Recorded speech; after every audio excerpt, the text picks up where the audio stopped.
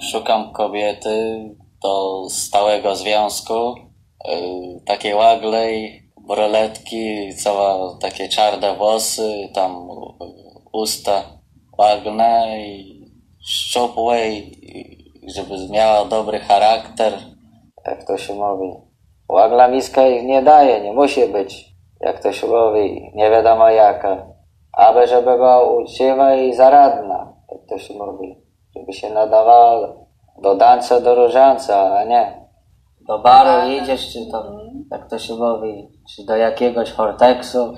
Wiem na czym świat stoi.